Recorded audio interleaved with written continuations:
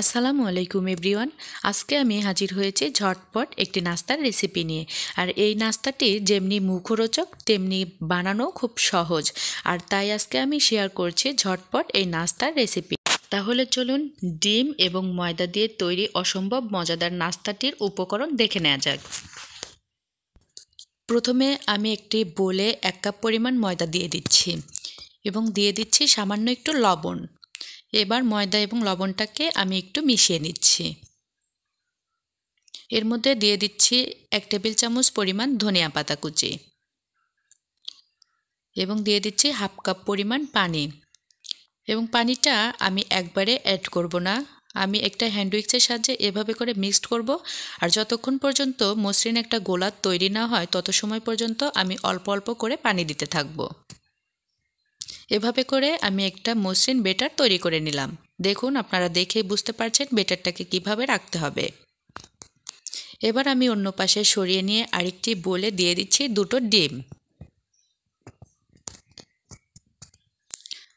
এক চা চামচ পরিমাণ ধনিয়া পাতা কুচি, দুই চা চামচ পরিমাণ কাঁচামরিচ কুচি এবং তিন টেবিল চামচ পরিমাণ পেঁয়াজ কুচি। অর্থাৎ আমি এখানে দুটো মাঝারি সাইজের পেঁয়াজ ব্যবহার করেছি এবং দিয়ে দিলাম সামান্য একটু লবণ। এবার একটি হ্যান্ডউইচের সাহায্যে খুব ভালোভাবে এগুলোকে মিক্সড করে নিচ্ছি। দেখুন, আমার দুটো রেডি হয়ে এবার আমি চুলায় একটা ফ্রাই প্যান বসিয়ে দিয়ে বেশ খানিকটা বেটার এভাবে করে দিয়ে আমি ছড়িয়ে এটাকে গোল করে নিচ্ছি। চুলা রাসটা লোতে রেখে এটাকে হালকা একটু হতে দিতে হবে। যখন দেখা যাবে এরকম সিদ্ধ হয়ে গেছে, তখন নিচে সামান্য একটু অয়েল দিয়ে দিতে হবে। এবং উল্টিয়ে দিয়ে দেওয়ার পর পরেটার মতো করে এটাকে ভেজে নিতে হবে। দেখুন, আমি পরেটাটাকে ভেজে নিয়েছি। এবার আমি ফ্রাই প্যানে দিয়ে দিচ্ছি ডিমের এই মিশ্রণটা। পাতলা করে আমি ডিমটাকে ছড়িয়ে দিচ্ছি। ডিমটার এক পাশ হয়ে গেছে, আমি উল্টিয়ে দিয়েছি। এরকম পর্যায়ে আমি ডিমটার উপর পরোটাটা দিয়ে দিচ্ছি।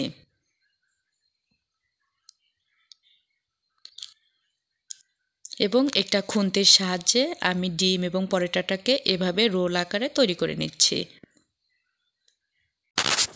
আর এভাবে খুব সহজেই যদি নাস্তাটি তৈরি করে নেওয়া যায়, নাস্তাটি খেতেও যেমন খুব মুখরোচক, তেমনি দেখতেও অনেক সুন্দর হয়।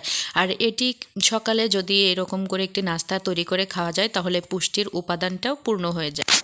আশা করছি আজকের সহজ রেসিপিটিও আপনাদের খুব ভালো লেগেছে। আর ভালো লেগে থাকলে অবশ্যই আপনারা আমার চ্যানেলটিকে সাবস্ক্রাইব করবেন, লাইক, কমেন্ট, শেয়ার করবেন আর বিউটির নতুন নতুন রেসিপির সঙ্গে থাকবেন। আপনাদের কমেন্টস আমাদেরকে এগিয়ে নিয়ে যেতে সাহায্য করে। তো আমি আজকের মতো ভিডিওটি শেষ করছি। সবাই ভালো থাকবেন, সুস্থ থাকবেন। আবার দেখা হবে পরবর্তী রেসিপিতে। আল্লাহ হাফেজ।